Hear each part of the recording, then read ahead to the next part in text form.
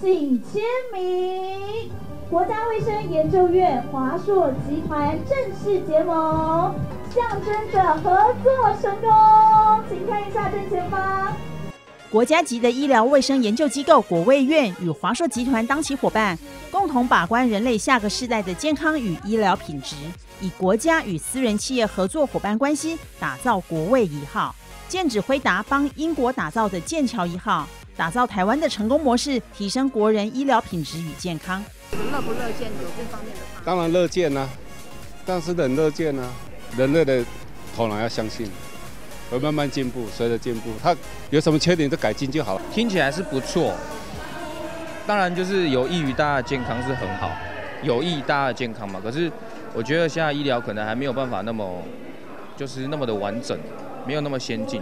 以任务导向的国卫院与华硕合作，建制 AI 生医资讯创新研究与应用服务中心国卫一号，提供强大的硬体运算能力与 AI 管理开发平台。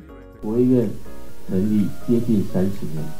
它的目的就是为了增进国人的健康，其中一个最重要的策略，啊，就是我们现在常常讲的公私协力的一个策略模式，可以结合政府跟民间的力量，一起来推动有利于国家卫生福祉相关的研究跟开发。台湾在 AI 有了不同于以往的国际竞争力与能见度。带给我们更进一步整合台湾优势生意资源的机会。科技的大量的运算与分析，来建立各种健康与疾病的关联模式与趋势，加速未来药物的开发与核准的流程。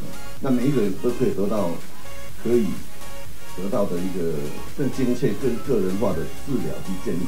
AI 人工智慧让台湾被看见，运用在生技医疗上，结合产官学三方，证明台湾就是 Number One，国卫一号更有潜力要上世界舞台。人间新闻陈信怡、宋一珍台北采访报道。